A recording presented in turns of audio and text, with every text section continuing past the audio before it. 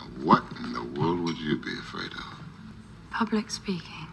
Things you need to hear before your next presentation. Avoid written bullet points on slides. You don't always have to stick to the script. Lean forward to emphasize a point. Don't read directly from your slides. Keep it short, practice, practice, practice. And lastly, try AhaSlides to make fun, interactive presentations.